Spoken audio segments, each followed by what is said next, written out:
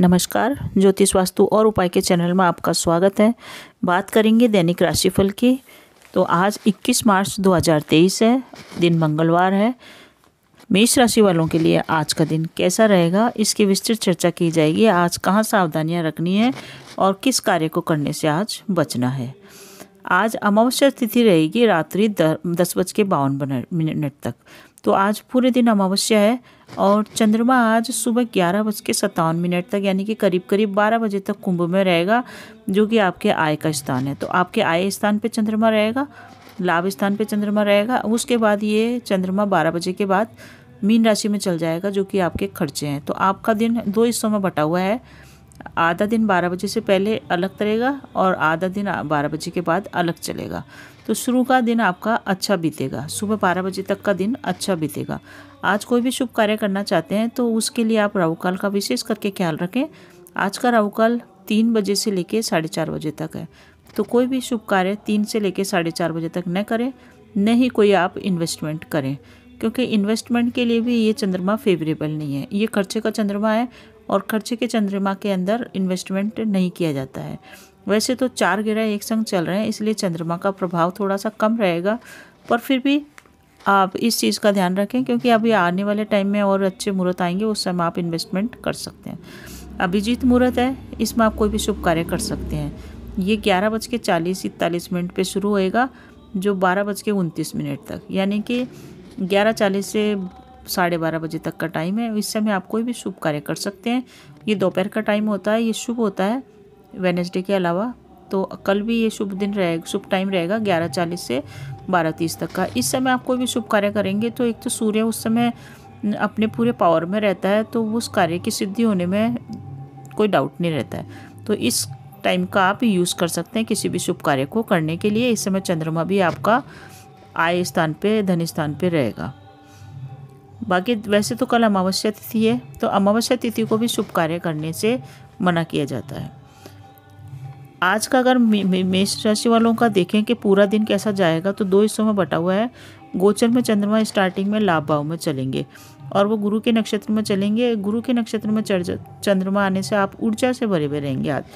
आज आपका ऊर्जा का स्तर अन्य दिनों से काफ़ी अच्छा रहेगा पॉजिटिव भी रहेगा और आप में आत्मविश्वास भी आपका पूरी तरह से बना रहेगा। ऐसा नहीं कि आत्मविश्वास की कमी है। आज आप वर्क प्लेस पे चाहे आप नौकरी में हो पार्ट टाइम जॉब में हो या प्राइवेट जॉब में हो, कहीं पे भी हो, आपका जो वर्क प्लेस है, वहाँ पे आप अपने दम पे ही सारे कार्य करते हुए नज़र आएँगे। यानी कि आप अपने आत्मविश्वास के चलते सारे कार्य कर देंगे, कैसा भी कठिन कार्य हो या कैसा ही डेली रूटीन का कार्य हो। हर कार्य आप आत्मविश्वास से कम समय में अच्छी तरह से, अच्छी कुशलता के साथ उस कर देंगे। ऑफ़िस में हो या कहीं पे भी हो, आज आप सभी जगह छाए रहेंगे। और आपका मान सम्मान भी आज अच्छा बना हुआ रहेगा। आपको सभी लोग आज सहयोग करेंगे। जहाँ भी रहेंगे, अगर घर में रहेंगे तो परिजन सहयोग करेंगे माता पिता सहयोग करेंगे वर्क प्लेस पर रहेंगे तो अधीनस्थ कर्मचारी सहयोग करेंगे। आपको ध्यान किस चीज़ का रखना है? आज बहुत ज़्यादा ध्यान रखना है आपको इस चीज़ का, वरना आपका बना बनाया काम बिगड़ सकता है। वो ये है कि अपनी वाणी पे संयम रखना है। अपनी वाणी से आज किसी का आत्म सम्मान को ठेस न पहुँचाए, क्योंकि आज आपका आत्मविश्वास बहुत चरम पे है, आप बहुत ज़्यादा कॉन्फिडेंस में है। तो इस कॉन्फिडेंस को ओवर कॉन्फिडेंस में बिल्कुल न बदलने दें ओवर कॉन्फिडेंस न करें, साथ ही किसी के साथ अभद्र भाषा का प्रयोग न करें, या यूँ कहें कि किसी के साथ दुर्व्यवहार न करें। सभी के साथ विनम्रता से और सौम्यता से प्रस्तुत हो जैसा कि आपका नेचर है, विनम्र बने रहने का डाउन टू अर्थ रहने का तो उसी टाइप से बने रहे और सौम्यता रखें अपने व्यवहार के अंदर। आपके सभी कार्य बन रहे हैं, भाग्य आपका साथ दे रहा है तो आप इस चीज़ से, चीज़ को समझें और धैर्य से आगे बढ़ें। सबका सहयोग सहयोग ले और सबको सहयोग दें। सहयोग अगर आपको कोई करता तो आप उसको सम्मान अवश्य दें। आप आज जो भी कार्य करेंगे, वो अपने आप ही कार्य आपके होते चले जाएँगे, क्योंकि आपको सहयोग सब सब तरफ़ से मिल रहा है। व्यापारी लोग हैं, व्यापारी लोगों के लिए आज लाभ का दिन है।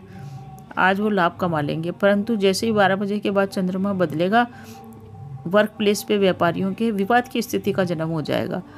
तो यही है कि शाम होते होते विवाद न हो, आप उग्रता पे अपना नियंत्रण रखें और क्रोध पर नियंत्रण रखें, क्योंकि मुनाफा आप कमा ही लेंगे थोड़ा बहुत तो। तो इतना बुरा दिन आपके लिए नहीं है।